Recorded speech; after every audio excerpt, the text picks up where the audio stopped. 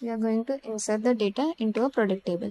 So I'm going to write here in statement.execute method insert into insert is a keyword into is a keyword table name that is my product space values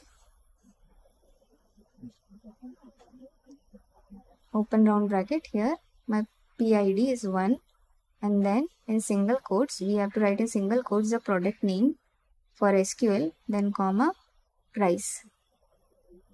Now just I'm going to print something here row inserted so that it will be displayed on my console. So save the file and run run as Java application. You can see row inserted is printed. Go to your MySQL workbench and then select this and click here you will see one record has inserted now go to your again let's let me insert another value. Like i'm going to use 2 i'm going to write pencil. Note i'm using single quotes for varchar or string in sql and then let me change the price 50 save.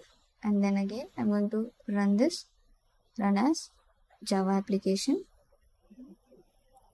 You can see row inserted and then you can see two rows here